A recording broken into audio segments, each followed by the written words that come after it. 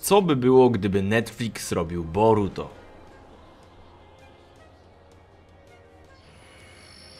W pierwszym odcinku poznajemy główną obsadę, syna Naruto i Siusiakę, czyli Burito, córkę azjatyckiej Sakury, czyli Sałatę oraz Machugi, syna transa Orochimarkę. Później poznajemy dobrych przyjaciół tej trójki, Hui Midaya, Choke Choke, Inojin, Denko Pokrywka, Drewnoli i Iebe. Okazuje się, że po kilkunastu latach walk pomiędzy feministkami a ludźmi normalnymi nastały równe prawa obu przepraszam, wielu płci. Oznacza to ni mniej, ni więcej, że mężczyźni to buraki, a szczególnie ci z białą skórą. Mimo tego wioską włada obecnie Naruto, który jest tak naprawdę manipulowany przez piątą Hokage, Tsunade.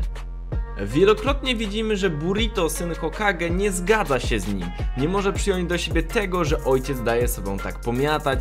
W dodatku drugi ojciec Siusiakę wpada tylko raz na jakiś czas, przez co Burito czuje się z tym niesmacznie. Robi on też wszystko na przekór Naruto.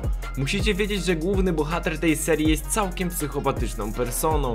Potrafi się posunąć do wszystkiego, nawet do tego, aby zamontować sobie narzędzie na ręce, które szalony naukowiec stworzył na wzór narzędzia z gry Just Cause. Mniej więcej w czasie bliskim do egzaminu na Huinina pojawia się jego drugi tata, Siusiake, który dla naszego małego Burito jest większym autorytetem niż Naruto. Siusiake postanawia trenować swojego syna, opowiada mu o tym jaki Naruto był wspaniały za dzieciaka, jak się nie dawał, w głębi duszy kochał go bardziej jako wspomnienie niż teraz. Opowiedział mu o tym, że teraz to już nie ten sam Naruto, on nie może tego wytrzymać, dlatego wiecznie jest poza wioską. Jako, że Siusiakę, jak sama nazwa wskazuje, jest większym gejuszkiem niż jego mąż, to pokazuje on synowi jak wyglądają te sprawy, dlatego też stara się go nauczyć zrobić idealną gałę.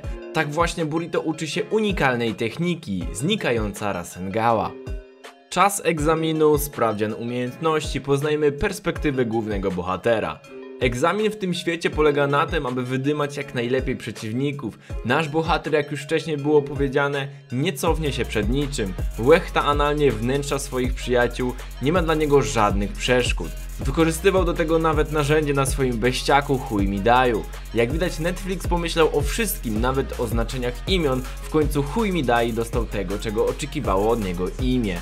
Niestety jak to w takich produkcjach bywa, wszystko muszą popsuć białasy, a konkretnie klan o nazwie Oto są Suki.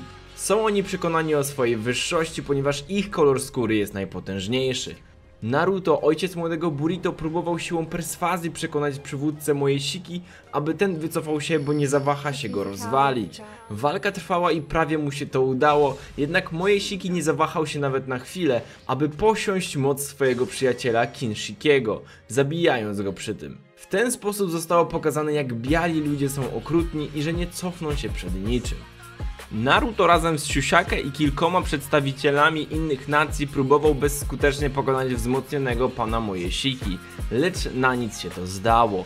Jak to przystało na Netflixa musieli pokazać kto jest górą, musiała go pokonać kobieta albo ktoś jej podobny, więc zrobił to Burito.